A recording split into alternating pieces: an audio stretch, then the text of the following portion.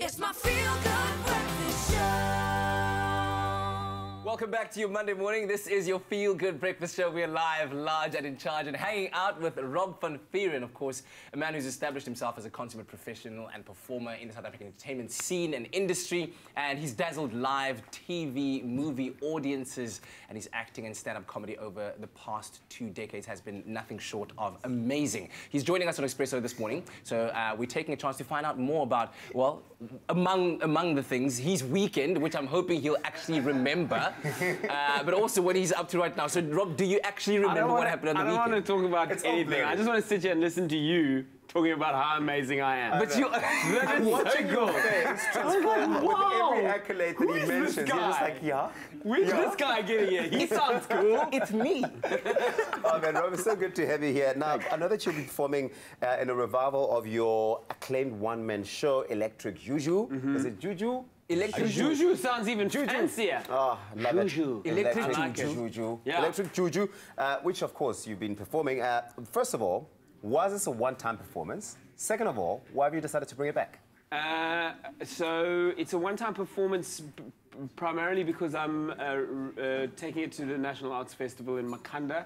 Uh, and I needed a preview in Cape Town before I took it there, Nice. uh, just to get it back on its feet. Yeah. Because it's been about s- 10 years since I did it last. Wow. Wow. So, uh, and it requires a, an immense kind of uh, physical commitment, and it's, it's, it's very hard to do. Yeah. So I needed to put it on its feet in Cape Town. I hope, hopefully, I'll bring it back to Cape Town after Nice. the Please do. festival. Please do. Um, but it's just a one-off thing, and it just so happens to be on Father's Day. That's not.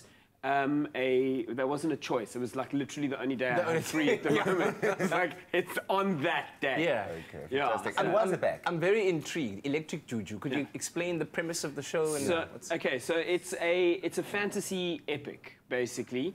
Uh, fantasy is a, genre I've uh, absolutely loved from forever. Yeah. Uh, and I was fascinated with the idea of trying to bring fantasy onto stage in a, in a one-man kind of physical theatre kind of uh, mode, which I thought would be an interesting thing to do.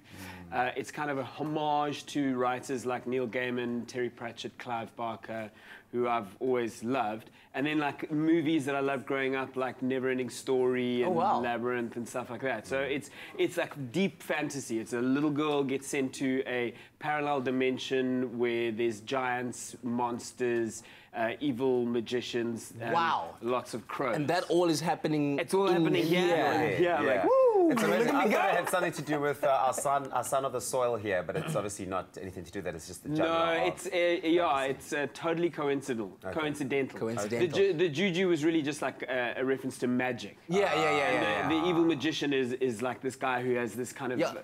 control over lightning storms and People forget that he didn't actually create that name. Juju's Yeah, it was has been a word that's been around yeah, for like forever. yeah. But and this show is quite old. And the reason I'm bringing it back is because I'm going to um, the National Arts Festival again this year. It's my 25th consecutive year performing Incredible. at that festival. So I've decided to take a whole kind of uh, bouquet of, of shows to, to kind of showcase this kind of stuff I've been doing- doing over the last 25 Yeah, years. So yeah. I'll obviously be doing a, a comedy show.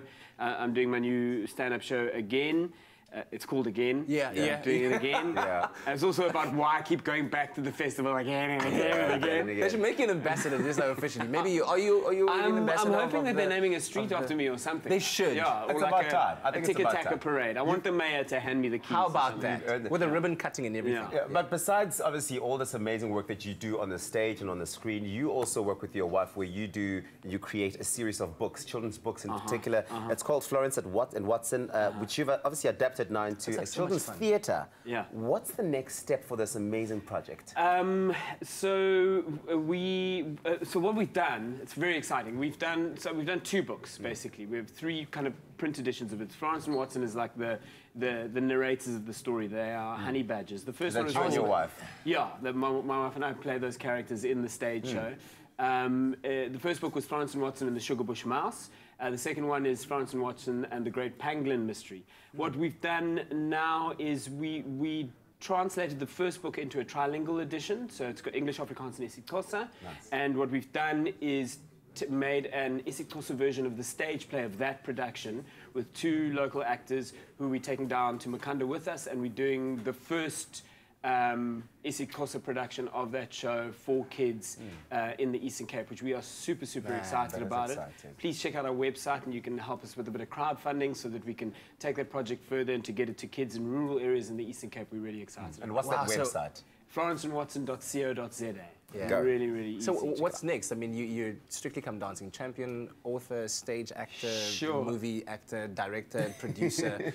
wow. Next. What is next? um, Uh, so I'm, I'm deep in the throes of preparing for Grahamstown right now for, for, for the National Arts Festival.